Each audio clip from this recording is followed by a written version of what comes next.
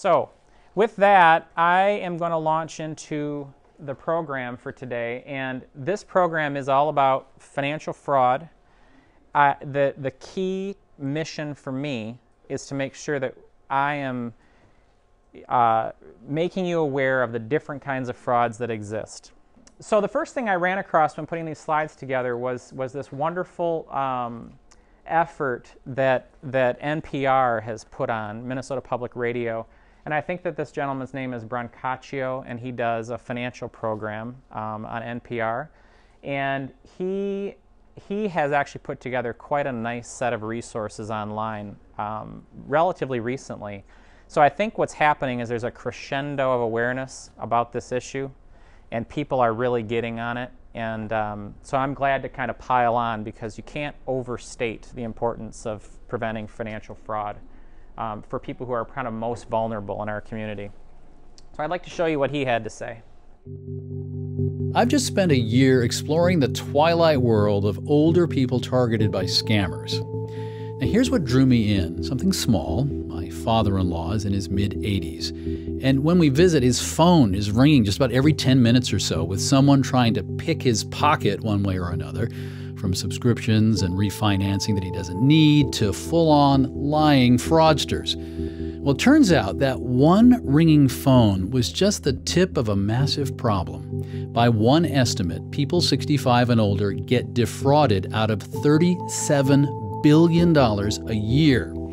Now, Americans of all ages and all tax brackets are targeted by fraudsters, yet older people tend to lose more money and have less time to recover their financial footing.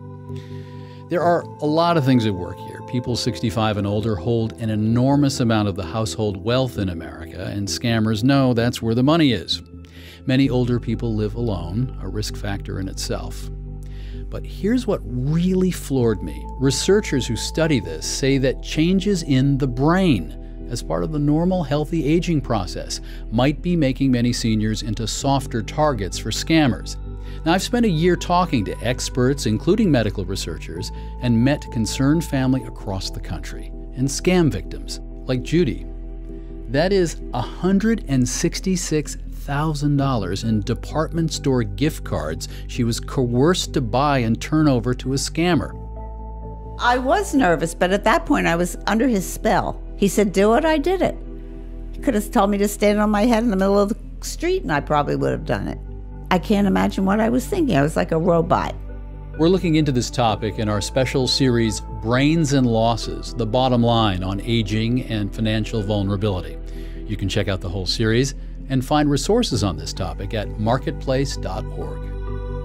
So, marketplace.org has some pretty great stuff, and I think that what he's really highlighted is something that I've talked about in other with other uh, programs over the years is this concept that that seniors are the most vulnerable, and it isn't. It, it it's a slow cognitive uh, um, degradation that can occur that's almost undetectable in your in your life. And I, I, there, there's this concept of two types of intelligences, and one would be a collective kind of building or accumulation of wisdom and knowledge and experience, and that is a that's a form of intelligence. You build that that knowledge base, and so you can have somebody who's aging, who actually is sharp when it comes to certain topics still sharp and has accumulated a huge amount of knowledge and, and, and, um, and intellect.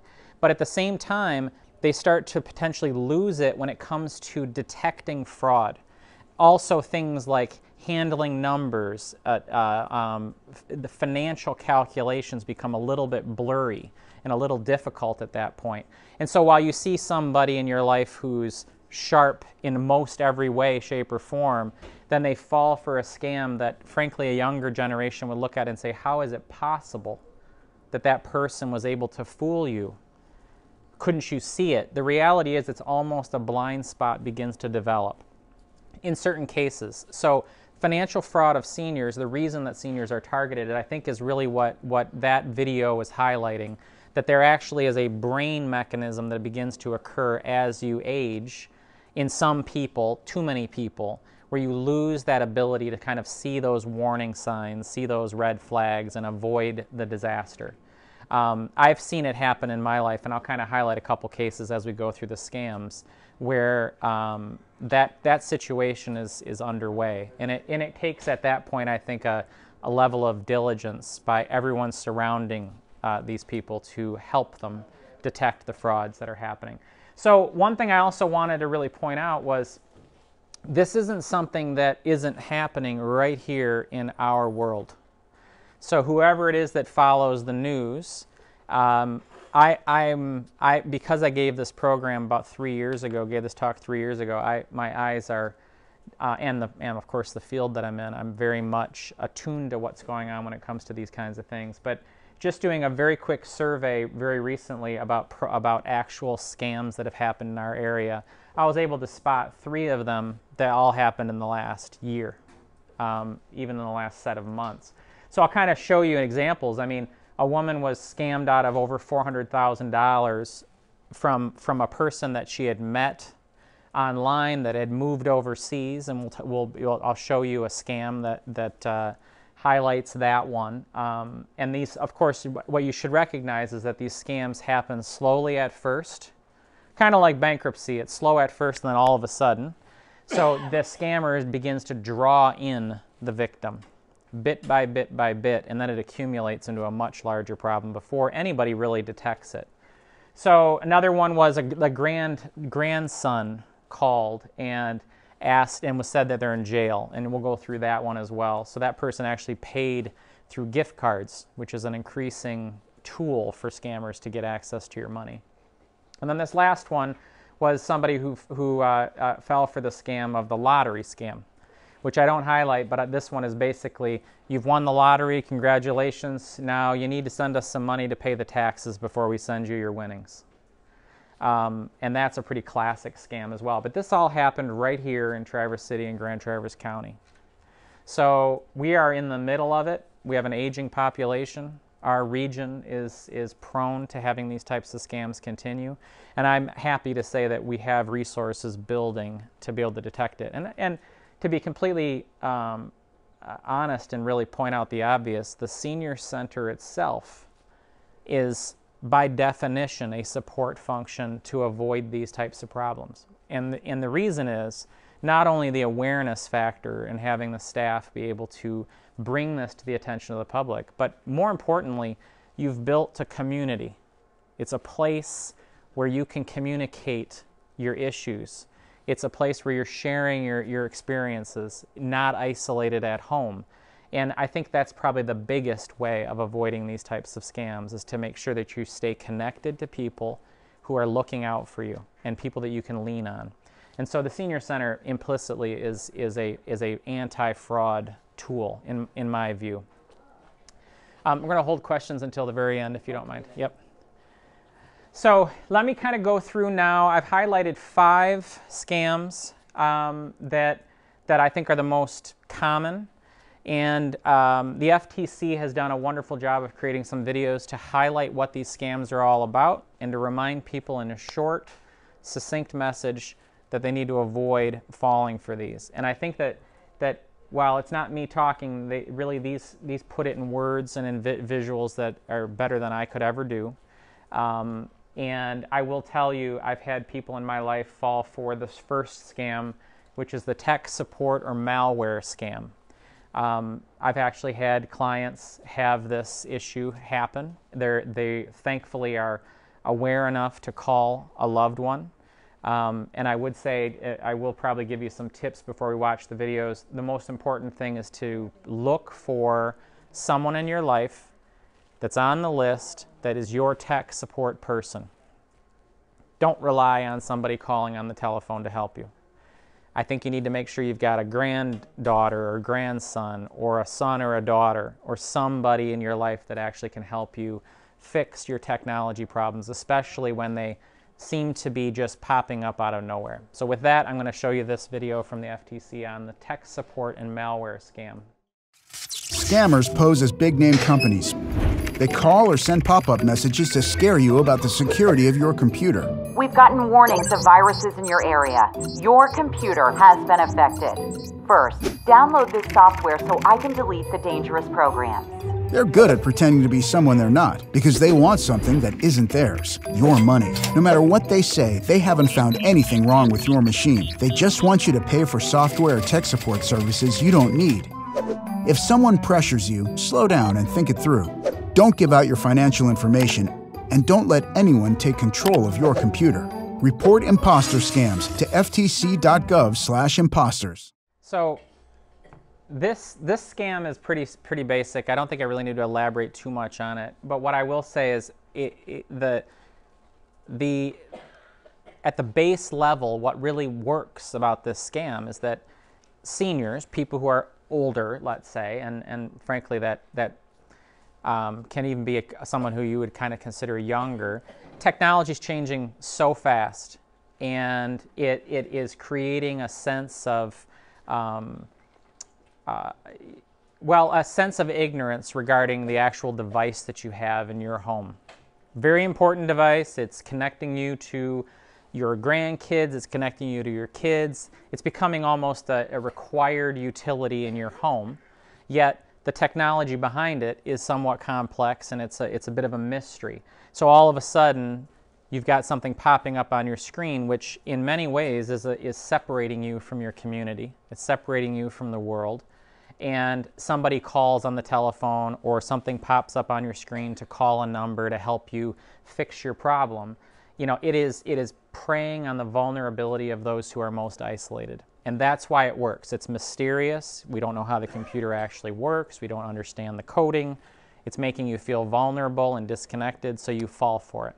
So the big takeaway on all of this is don't ever give away your financial information don't click on the banner ad to have somebody help you out because as soon as they get control of your computer, they've got access to things that they can then use as leverage against you and, and breed on that, on that fear and prey on that fear. So the key here is when you have a technology problem, you should have on your refrigerator wall somebody to call that you know you can trust. You know, go to the Mac store, go to Best Buy with the Geek Squad, call a grandkid have somebody that you can rely on for technology support. Nothing off your computer popping up should ever be your tech support service. And don't ever trust a logo. So that's another rule. Just because it says Apple, just because it says Microsoft, does not mean it's Microsoft or Apple. Spoofing imposters online can make anything look legitimate. So it is a sense of paranoia, but I think it's a healthy sense of paranoia. Make sure you're talking to somebody that you know that can help you out. This next one is a growing uh, mechanism for getting money. It's called the credit card scam or the gift card scam, excuse me, the gift card scam. And it's a way in which you can, you can they, the, the scammer can get access to your money in a relatively untrackable fashion, in a way that you can't recover very easily. So they want to be sitting offshore in some faraway country. They want to get access to your money instantly, and they want to make it so that you can never get it back. Um, I had a client not fall for the gift card idea, but talking about the speed with which the money can disappear. I had a client who um, who was actually paid it through MoneyGram.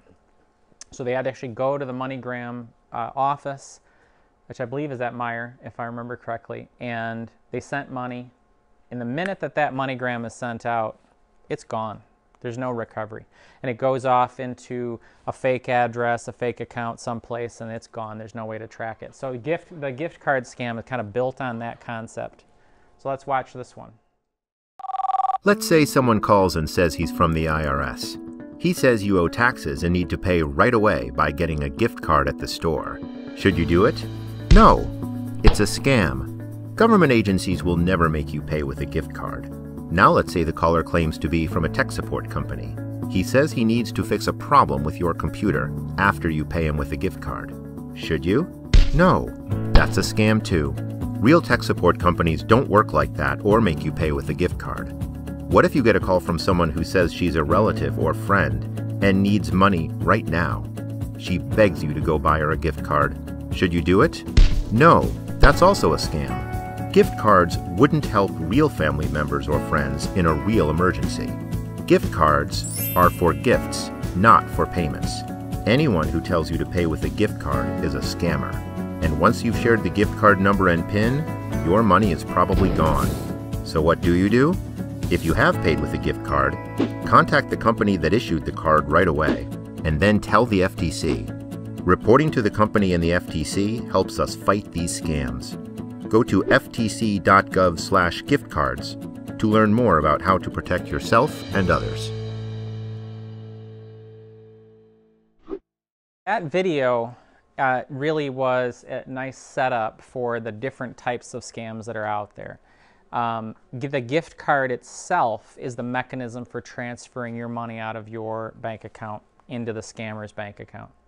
Um, and so it, that you have to recognize that there are easy ways to get access to money, and that's why they, they want to prey on that gift card mechanism.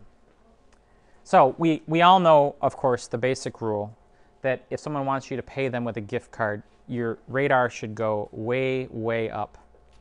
And he's right. You can't really use a gift card for everyday stuff. Um, but but uh, so that should be your first clue that a gift card is not a way to pay somebody. So th- that video actually touched on a couple of things, and I, I would kind of characterize this this scam as called the government imposter scam. So this one is really feeding off of really one major weakness. Everybody, at, I shouldn't say everybody, but the vast majority of us like to follow the rules. We are rule followers. We're law abiding citizens. At least that's the way that most of us should be. So when somebody calls you from the government, um, What's the old joke? If they call from the government and say, I'm here to help, you're, you're supposed to run. Is that what it is? Well, the fact is, the government's not going to call you. That's the first rule of this. But when they do call and they say they're from the IRS and then you got a recording on that, or they say they're from Social Security and they're about to um, affect your, your livelihood in terms of your, your income, you're, this is what it, uh, kind of creates that fear, and fear then creates the reaction, which is to call these people or engage with these people on the phone. So people who are, are imposters for the government, by definition, are really preying off of your, your rule-following behavior. So you need to be aware of that. So I'm going to show you a few different things here um, and have you listen to a couple of calls as examples. Then you probably have actually received these calls, these people, the people in this audience. Um, and I'm sure people watching this later on TV will recognize these calls. It, it's, um, but it's important to hear them in the context of the scam. I think people really need to hear them to kind of take away that, that immediate fear. Scam artists are pretending to be IRS officials to get your money. They'll call, email, or text you, claiming you owe back taxes or there's a problem with your tax return. They even rig caller ID to make the call look official. They play on your fears they threaten to take your driver's license or sue, arrest, or deport you. They want you to pay fast. What's the truth? The truth is, the IRS's first contact with you will always be a letter in the mail. It's not a phone call, email, or text message. They won't insist that you pay with a prepaid debit card, a wire transfer, or cashier's check. Now you know. Has an IRS imposter contacted you? Report it at ftc.gov/imposters. So the important takeaway on this is we all know the government does not call to collect money if they're the IRS. They send you a letter. Never get a call. You'll never get a text. Same thing with Social Security. Um, I will tell you, I had a client fall for this. I talked about the MoneyGram. This is what she fell for, which was we're going to be coming to your house and arresting you because you didn't pay your taxes. My client paid their taxes, they were completely in line with the law. But the fear of being arrested and we're on our way was enough for her to react. And so she actually went to MoneyGram and sent, I don't know what it was, $1,500, and it was gone. Um, thank God it was $1,500. And I will talk to you a bit about telephone call some things at the end of this presentation are going to be some, some tools, some, some uh, solutions to be able to avoid these kinds of situations, and one of them has to do with these telephone calls and robocalls from fraudsters. They are sophisticated. So that idea that they talked about caller ID, the fact is is that they can spoof where the telephone calls are coming from. So you can't really trust caller ID. This one I have personal a personal story of uh, on. My my uh, wife's grandmother was in her 90s, and she received a telephone call from uh, somebody who sounded muffled, um, a bit impaired, uh, couldn't quite hear the voice very well, but of course introduced himself as as her grand her great grandson, who was in something where like Puerto Rico on vacation, and had been injured, and that's why the person couldn't speak, you know, perfectly clearly. They had bandages all over their face, and I can't get a hold of my parents, and I need to have some money sent down to pay my medical bill and be able to get the flight home. Grandma, can you help me? and uh, my wife's uh, great grandmother was in a assisted was an independent living assisted living type facility that had a bus uh, ride to the bank, bus ride to Walmart, scheduled. So she gets uh, onto the bus, goes to the bank for their weekly banking tr- uh, bank trip, and she wires the money to this unknown person, and it was about fifteen hundred dollars as well, something in that range, eighteen hundred dollars long gone. Of course, it's a complete scam. You know, I, I said this three years ago. At what what I and I believe that that this is improving. There, we all it, it takes a village, you know, to raise kids. Well, it takes a village also to take care of our our um, grandparents and great grandparents. And I think that that kind of transcends itself into assisted living facilities and nursing homes and independent living facilities. That people are looking out for everybody. And I think that a bank teller as well should be looking out, and so should the person selling the MoneyGram and selling the gift card. And these are things that are starting to build where actual merchants and bank tellers are, are asking some questions. What's going on? What, you know, why are you wiring this money? And they sound somewhat intrusive at times, but they're there to protect you. So in this case, it's called the family emergency, and I'll show you this, this video that they have on this one. Granddad, it's me. An accident in Mexico. I- am in jail. Jimmy, is that you? Yeah, it's Jimmy. I need money for bail right now. In jail? You need to send money right now. Please don't tell anyone.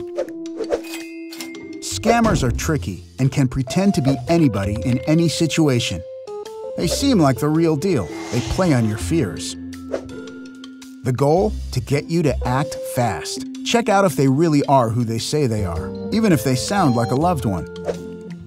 Heard from an imposter? Report it at ftc.gov slash imposters. So, did you guys notice what he did in that video? He immediately got on his phone and he texted the parents of that grandson, and the parent verified, you know, no, Jimmy's not in, in Mexico. Jimmy's with me. Everything's fine. So that is an important thing is to always have people that you can communicate with whenever you sense that something a bit bizarre is going on. Um, they, they, the, the sophistication of the scammers is immense. And I can tell you, I believe that uh, my wife's great, uh, grandma was, was um, victimized because somebody went onto Facebook, I believe, and understood the names of everybody that she was connected with. So her profile would have shown the great grandchildren, grandson's names, the sister, the names of the parents. And so the name dropping was also utilized in that case. Was able to mention that my sister's not, not answering a phone and her, you know, mentioning the sister's first name. The parents are on vacation at this point. I can't get a hold of them. I mean, these are some pretty amazing um, validations of the, of the what looks like a true call, a real call, because wow, they're getting a lot of information right. So it's important to sort of have somebody at the ready to be able to contact and say, something's going on, I don't know if I believe this. Um, I have it happen to me as, as an investment advisor, but also just as a, a, a son. And, um, you know, I, I periodically get emails from people that, that say, this doesn't seem right, is this, is this wrong? You know, it's just another person to check with. So you need to kind of have your roster of people. But the family emergency one is um, particular. You can see that the commonality of all of it is fear, This one here, however, is especially the current older generation, they want to help. They're, na- they're tr- trusting to a degree. Um, you know, my generation and younger, they, they, gr- they are growing up in a very, very skeptical world. Um, that may not have been the case for people who are 80, 85, 90 years old. Um, trust was something that I think was a bit stronger. And so that's kind of carried you through your life in many ways and positive, with positive uh, um, outcomes. But in this case, that trust is being preyed upon. So the family emergency scam is one to be very, very cognizant of. And this is the last one that I'm going to talk about. It's called the online romance scam. And you saw from that earlier slide the person who had $400,000 taken from them. Well, that was because they bought into this idea that somebody was interested in them romantically, they're, they're feeling lonely at home, um, they're, they feel like, you know, it's, it's a, a connection with the world, and so they begin to develop a relationship with someone that they simply don't know. And it all seems good, but then it builds from there. So I'd like to show you this video. Looking for love in all the right places? Like popular dating sites, mobile apps, and social networking sites? Ron seems like a perfect match for you. He's thoughtful and says he can't live without you. He says he's from the US but works out of the country. He says he wants to visit but says he can't afford it. He asks you to send him money. Last month it was medical bills for his sick aunt.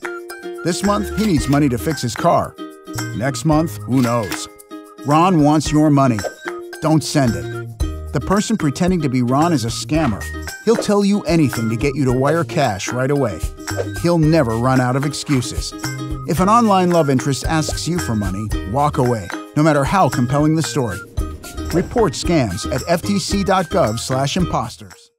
So that one is really sad to have people feel that lonely, um, be sucked into a, a, scam bit by bit by bit. And it's right. The, the, the ask begins to build, and then at some point it becomes, you know, a much larger dollar amount. And by that point, you're embarrassed that you ever fell for it.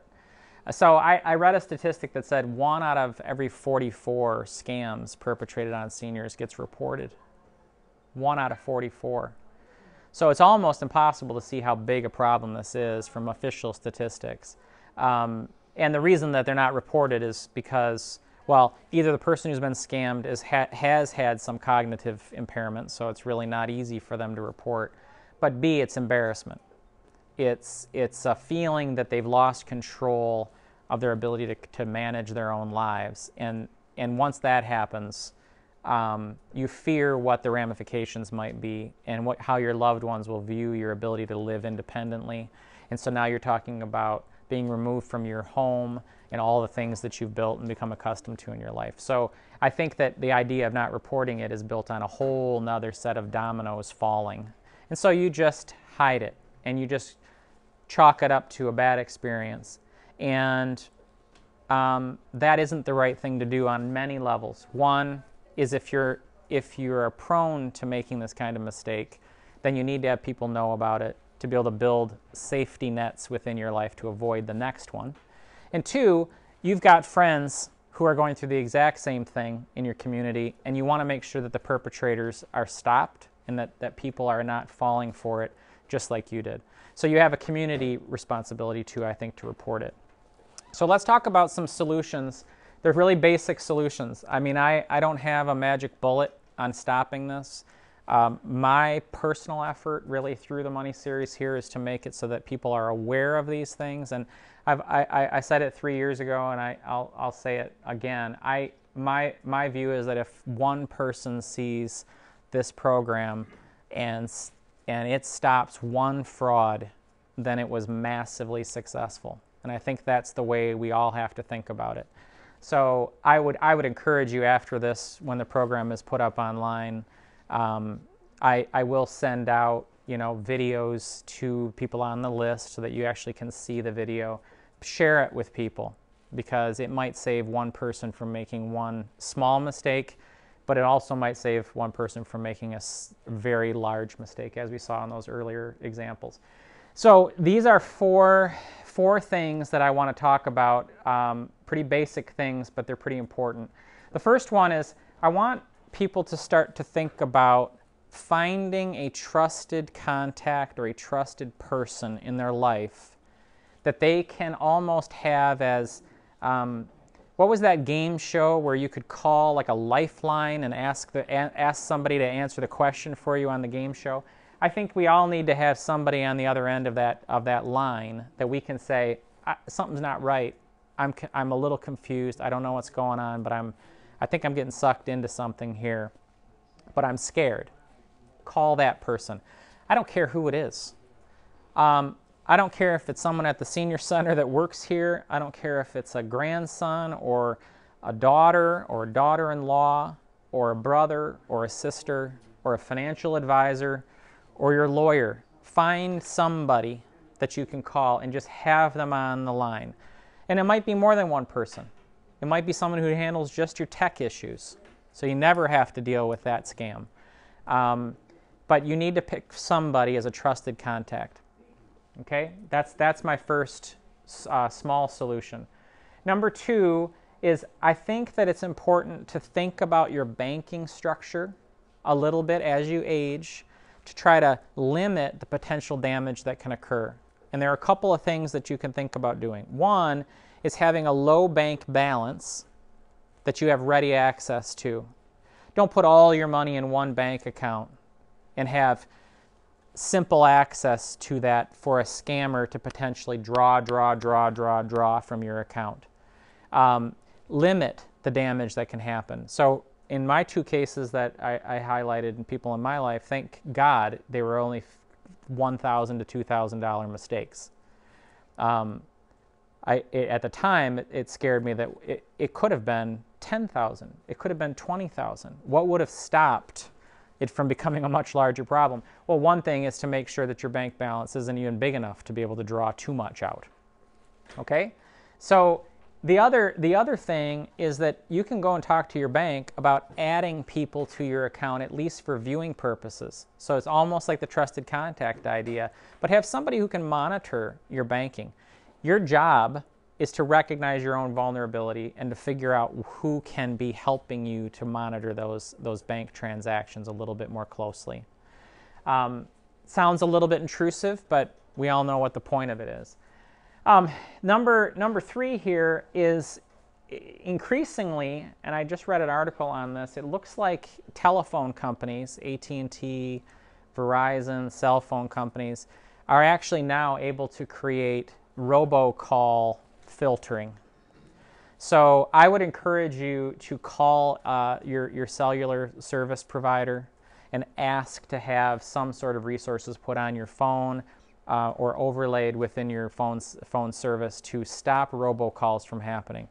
Now, it's not going to be fail, a, a, a foolproof system, but to limit the number of penetrations into your life of a potential scammer, this would help in that way. There are apps that you can actually subscribe to on your phone that will block robocalls or do a good job of identifying robocalls. But keep in mind the spoofing of the caller ID um, is, is still a prevalent issue, so you need to be still quite vigilant. You know, a very simple rule of thumb is don't answer a telephone call from someone that you don't know. I know that sounds like closed off in the world, but it is probably the most uh, fail-safe way of not getting a robocall is to not answer the phone. So, and then then the last one is a catch-all for everything, and, it, and I, I, I mentioned it in the context of the senior center. I think it's important for you to stay connected to people and for people to stay connected to you. So really, this one's more for your loved ones, your younger loved ones, to stay connected to the older generation. Call them, talk to them, keep in contact, keep in personal contact, because it's the way to find out what's going on in their lives. It's going to be more a, a, a, more um, open way of hearing about the scams as they're building. It's a chance for your loved one to be able to express themselves, con, you know, concerns that they're having regarding a telephone call they got or a pop-up on their on their computer. So staying in contact with your loved ones is another big um, blanket solution So I also want to highlight a couple other things here that I, I, I, find fantastic and didn't exist. At least I didn't know they existed three years ago when I gave this talk the first time. That that AARP actually has a uh, fraud watch network that they've developed. And I'm putting the 800 number up on here, 877-908-3360. Um, again, this will be available online, so you can actually come back and grab this slide if you'd like. Um, and I want to play a video to show you what they do and how they came to be um, and why I think it's such a wonderful, wonderful asset.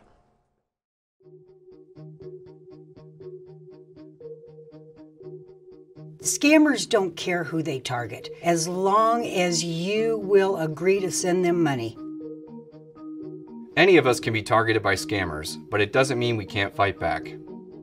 Vigilance is our number one weapon. Hi, my name is Lynn. I'm with AARP Fraud Watch Network. Since I've been here, I believe I've handled a couple thousand calls.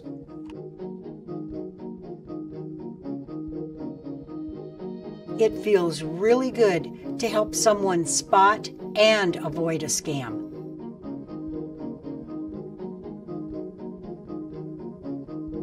Many of the callers that call in, especially if they're victims, feel embarrassed or ashamed.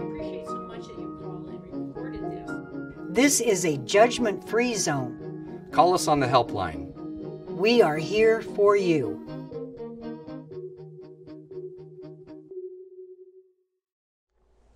So that service from AARP is staffed by volunteers. I called them this morning and talked with somebody. Um, and I asked the question, did you have to be an AARP member to use this, this hotline? And the answer is no. Anyone can call. And the great thing about it is they are trained by federal uh, um, uh, authorities uh, in addition to that, they report everything to the government. And that's an important thing for us to remember is that the feedback loop reporting these types of things, going to ftc.gov, Federal Trade Commission, and reporting the scam that's happening is a way for the government to spot it happening around the country and to alert people. And that brings me to uh, the, the next slide we actually have in our area, this is relatively new, I believe, uh, Grand Traverse County, which is really what the Senior Center is a part of. Um, there is a fraud alert system that, that is a scam alert system that allows you to register your phone number, your email address.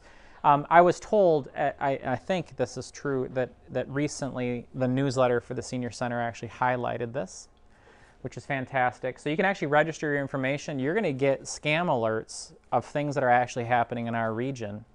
And for yourself to know what's going on, where you're seeing these scam alerts listed down below. But in addition to that, you can take that information and make sure you mention it to your friends. This is the way to stop fraud and scams in their tracks. So I suggest that everybody goes to grandtraverse.org and clicks on senior centers and you'll see the scam alert along the left hand side and you can actually uh, register your information right in there. I've done it and um, I'm looking forward to getting scam alerts so that we can stop this stuff from happening. And so with that, um, I want to thank a, a, a, few people or a few organizations. Um, first off, this could not be done without the generosity and support and openness of the Senior Center. Um, for you guys to be able to get this type of programming is wonderful, and I know that the programming goes well beyond the money series here. So I'm proud to, to be a part of the Senior Center's programming um, uh, uh, repertoire. So the Senior Center, I want to thank everybody here. In addition to that, we've got Leland Township Library. So that is a second venue of the Money Series. If anyone's ever been out to the Meineke Room out in Leland, they've got a fantastic um, facility out there and a really great program director. Um, she came to me a couple seasons ago and asked if I would come out to do programs for the Money Series out in Leland, and of course the answer was yes. And it's a nice, intimate setting, and, and I hope that it, it, it provides a resource for Leelanau County as well. Um, third, I'd like to thank the Tra Area District Library. They, the, their facility over there, their, that venue is a fantastic room, um, the McGuire Room. the great thing about that that uh, facility, in addition to the fact that the library is a fantastic asset for our community, is that we actually have those videotaped um, live, and we're doing four programs over over there this year, um, where we take video, the video of the Money series, and replay that on on on um, TV as well. Which brings me to the fourth organization that that I think is a hidden community asset, which is Traverse Area Community Media. It used to be called Up North TV, Up North Media. They've changed their name to Traverse Area Community uh, Media, and they have a couple different channels that are open access channels. But one of them is their community TV channel, channel 189, on your cable system. So you subscribe to Charter, you will be getting access to channel 189. That's where they're replaying every week, multiple times, the growing library of Money Series videos. And so I, I want to thank them as well for being um, supportive of the Money Series and for being such a great uh, piece of access for, for the community in terms of information. Um, I always say to people, I, at least I'm, i I, want to say to people, that of course these organizations in no way are endorsing the Money Series or the content or the speakers.